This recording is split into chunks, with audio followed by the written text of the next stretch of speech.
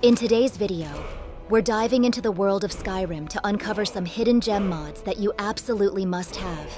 Whether you're a seasoned Dragonborn or a newcomer to Tamriel, these mods will enhance your gameplay experience in ways you never imagined. So, grab your sword and let's get started. First, let's introduce some hidden gem mods related to gameplay. Starting with Soul Resurrection, Injury and Alternative Death System. This mod replaces the death system in Skyrim, eliminating the hassle of reloading the game and preventing save file corruption when the player dies.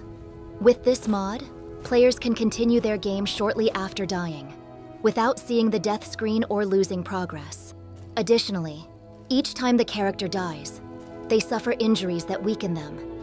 These injuries gradually heal over time, but surviving becomes more challenging with each death. Moreover, if the player loses a battle against guards, they are imprisoned instead of dying.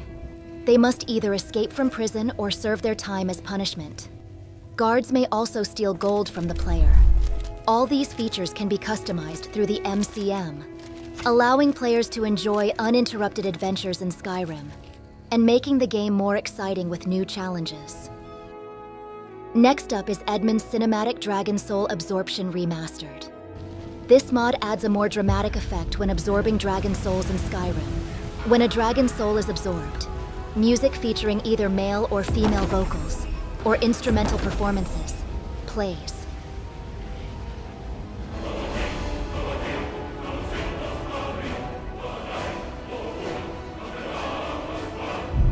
The player performs a powerful animation, followed by an explosive effect. Additionally, it can be easily installed on both new and existing save files. It is compatible with other animation replacement mods, and the music and animations can be customized to the user's preference. The default master level destruction spell animation plays when absorbing a dragon soul, and users can choose from various animation replacement options.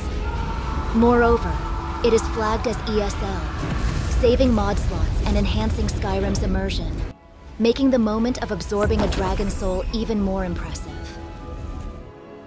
Next up is Dragons Fall Down, Immersive Airborne Death. This mod addresses the behavior of dragons. When you take down a dragon in the air, it usually continues to fly around energetically for a while, before deliberately falling towards the player and then dying. Have you ever thought, that wouldn't happen? This mod changes it so that when a dragon's HP reaches zero, it falls immediately. If you find the original animation unnecessary, why not give this mod a try? It will create a more natural depiction of a dragon's falling death. In this section, I will introduce some hidden gem mods related to magic, starting with the auto-bound weapon SKSE plugin. This mod conveniently summons a bound weapon simply by drawing your weapon while the spell is equipped. Previously, even with the bound weapon spell equipped, you had to cast the spell, making it cumbersome to use. As a result, I rarely used bound weapon spells. However, with this mod, I can summon weapons instantly and conveniently, making me use bound weapons more frequently. Additionally, this mod is purely an SKSE plugin, without an ESP, which means it is less likely to conflict with other plugins. I believe this is a great hidden gem mod for you to try. Next up is Grimoire Weiss. This mod allows you to summon the Book of White from NieR Replicant in Skyrim. Once installed, it adds a summoning spell called Book of White to your magic inventory. Using this spell, you can summon the Book of White to assist you. Created by a Korean creator. The original mod is in Korean, so you'll need to download and apply the English ESP separately. The Book of White follows you around in its folded form and unfolds during combat to provide various buffs and debuffs. For example, it can increase your attack power, decrease the enemy's defense, immobilize enemies, or inflict poison damage. Additionally, it has a chance to heal you when your health is low. When not in combat, it can also help you hide while sneaking, this mod is extremely helpful in battles and can serve as a valuable companion. The Book of White acts cleverly according to the situation and faithfully supports the player. In this section, I'll introduce some utility mods. First up is Resaver. Resaver is a tool used to clean and modify Skyrim save files. When you uninstall a mod during gameplay, remnants of that mod can remain in your save file. Resaver helps to clean these leftovers. Using Resaver is straightforward. First, register Resaver through Mod Organizer and launch it. Once the Resaver window is open, select the save file you want to clean. The script elements of the save file will be displayed in a tree structure. Next, go to the top menu, select Clean, and choose Remove Unattached Instances and Remove Undefined Elements to perform the cleaning process. This will remove unnecessary script elements from the save file, helping to improve the game's stability. Next up is the Save Checker. This mode addresses several issues that can occur when creating save files. When saving, a notification will display the result.